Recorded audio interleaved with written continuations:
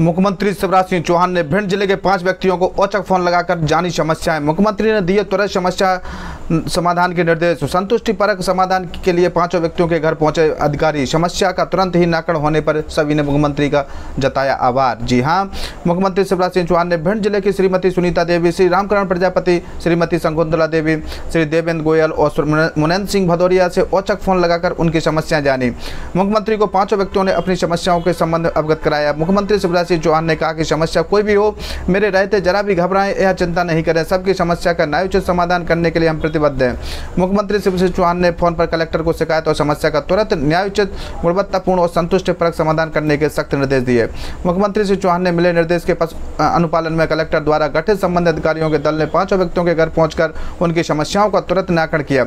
समस्याओं का हुआ तुरंत समाधान। भिंड के वार्ड क्रमांक चौबीस हनुमान नगर जामना रोड निवासी श्रीमती सुनीता देवी, पत्नी श्री रामशंकर ने बताया कि उनके खाते में लाडली बहना योजना की राशि नहीं आई है।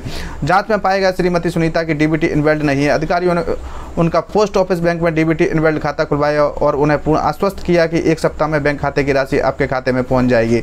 श्रीमती सुनीता ने समस्या के तुरंत समाधान पर संतोष व्यक्त कर मुख्यमंत्री को धन्यवाद दिया। भिंड की नगर पंचायत अकोड़ा के वार्ड क्रमांक बारह गड़ी मोहल्ला टावर के पास निवासी निवासी श्रीमती रेखा प्रजा, रेखा प्रजापति पत्नी श्री शिव सिंह प्रजापति ने बताया कि लाडली बहना योजना में उनका फार्म नहीं भर गया है भरा गया है भरा भर पाया है। समग्र आईडी में नाम भी दर्ज नहीं है। दस्तावेज़ की जाँच में पाया गया कि उनके आधार कार्ड में मध्य प्रदेश के बाहर का पता है। इस कारण वे लाडली बहना योजना की पात्रता में नहीं आई और उनका फार्म नहीं भर पाया। श्रीमती प्रजापति के आधार कार्ड में पता परिवर्तन का एनरोलमेंट करा दिया गया है। श्रीमती प्रजापति ने समाधान पूर्ण तुरंत कार्रवाई पर संतोष, संतुष्टि व्यक्त कर मुख्यमंत्री को धन्यवाद दिया। मुख्यमंत्री को थाना प्रभारी मुख्यमंत्री ने थाना उमरी के ग्राम लहरौली निवासी श्रीमती शकुंतला देवी पत्नी श्री रामशंकर ने बताया कि हमारा घर कच्चा है और हम प्रधानमंत्री आवास चाहते हैं। उनका बीपीएल कार्ड नहीं बनाए बनाया गया है और ना ही राशन मिलता। अधिकारियों ने घर जाकर सर्वे किया तो वे प्रधानमंत्री आवास योजना के लाभ और बीपीएल राशन कार्ड के लिए अपात्र पाई गई। श्रीमती शंकुतला देवी की उपस्थिति से अवगत कराया गया उन्होंने तुरंत कार्रवाई कर सही जानकारी से अवगत कराकर शिकायतकर्ता का समाधान करने के लिए मुख्यमंत्री चौहान को धन्यवाद दिया।